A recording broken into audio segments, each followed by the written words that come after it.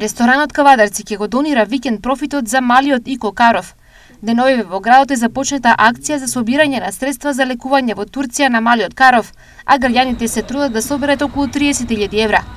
Од пица ресторанот Рамазоти одлучиле целиот профит од овој викенд да го донираат за лекување на малото момче. Почитувани гости, ве покануваме да бидете дел од хуманитарните денови посветени на нашиот мал Ико Каров, да се здружиме како заедница да му помогнеме заедно на Ико Каров кој се бори со здравствен предизвик, заедно со неговото семејство и да застанеме покрај нив во ова тешко време. Стоево повикот од пицеријата Рамазоти.